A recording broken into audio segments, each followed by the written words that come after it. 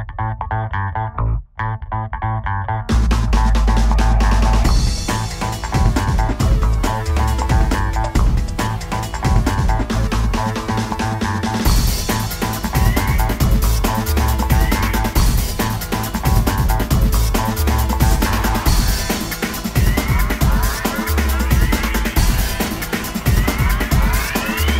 very excited to uh, welcome you all to the Elite Cricket Academy. There's a lot of excited boys here. I didn't get a chance to get around to meet you all beforehand, but uh, we're set for a wonderful six months together, um, and we're really looking forward to it.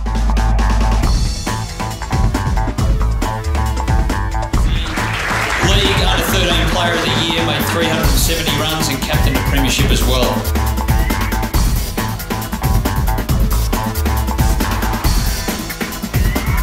The program itself is something that's very special and very unique. It's, uh, it's been a, a, a big passion of mine for a long, long time. Uh, I got my opportunity later in cricket, but along the way, what I wanted to do, and when I was playing cricket right at the very end uh, for the Bushrangers, was to share that opportunity with as many people as I could.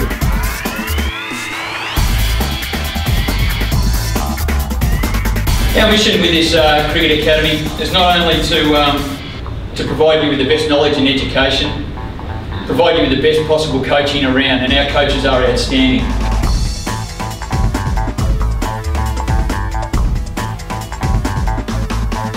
So it is my pleasure to introduce Australian Test cricketer number 429, Bobby Quiney.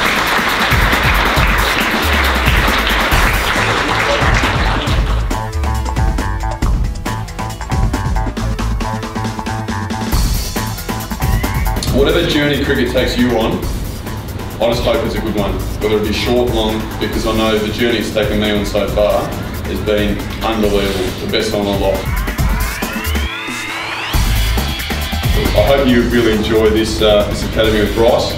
Um, it sounds like a really, really good opportunity for you kids, and uh, um, thank you very much for listening. I just hope you got you know, a little something out of it, so I appreciate that.